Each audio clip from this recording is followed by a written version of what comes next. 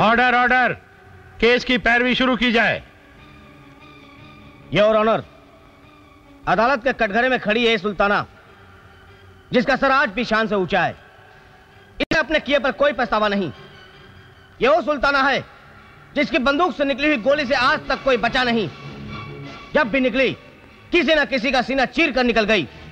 चाहे वो बच्चा हो, जवान हो या बूढ़ा, मैं अदालत से दरख्वास्त करता हूँ इस सुल्ताना को ऐसी सख्त से सख्त सजा दी जाए ताकि फिर कोई ऐसी लड़की बंदूक उठाने की कोशिश न करे। ऑब्जेक्शन योर ऑनर मेरे फाजिल दोस्त ने एक मिनट में किसी की ज़िंदगी और मौत का फैसला कर दिया। इन्होंने हालात को जानने की कोशिश नहीं की और ना ही सुल्ताना से कुछ पूछना ज़रूरी समझा कि उसने बंदूक क्यों उठाई। योर ऑनर केस आईने की तरह बिल्कुल साफ़ है। इसलिए अदालत अपना कीमती वक्त जाया न करे। मेरे फाजिल दोस्त मैं अदालत से दरखास्त करना चाहूँगा कि इन्होंने बात तो बिल्कुल साफ़ कही है कि आईना साफ़ होता है।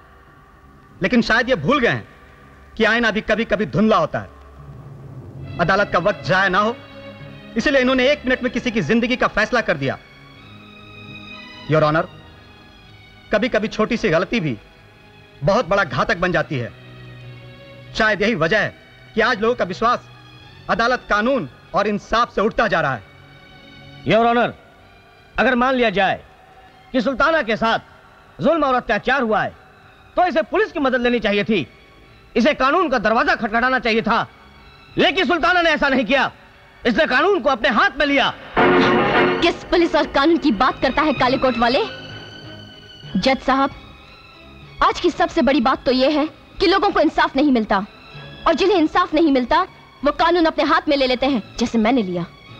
योर ऑनर इस लड़की की नज़रों में अदालत कानून और कायदा कोई मायने नहीं रखता। फिर इंसाफ कैसे होगा?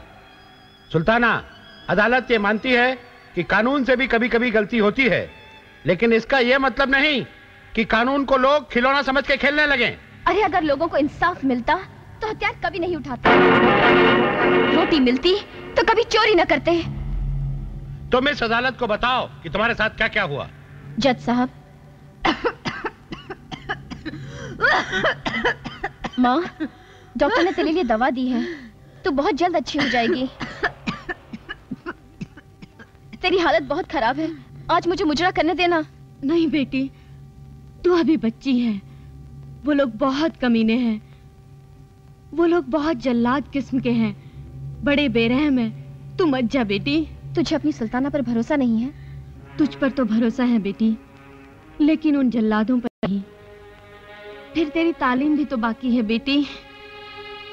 अरे गंगा बाई जब रजिया इतने जिद कर रही है तो उसे मुजरा करने जाने दो ना। रसिया अरे वो लोग तो बहुत कमीने हैं रे। तू तो उनकी नस नस से वाकिफ है। फिर भी जाने की बात करता है। और फिर अभी सुल्ताना की तालीम भी तो पूरी नहीं हुई। गंगा बाई इसमें घबराने की कोई बात नहीं। मैं अपनी जान से भी ज़्यादा इसकी हिफाजत करूँगी। हाँ। माँ, मुझे आशीर्वाद दे। आज मेरा पहला मुजरा है। माँ का आशीर्वाद तो हमेशा बेटी के साथ है।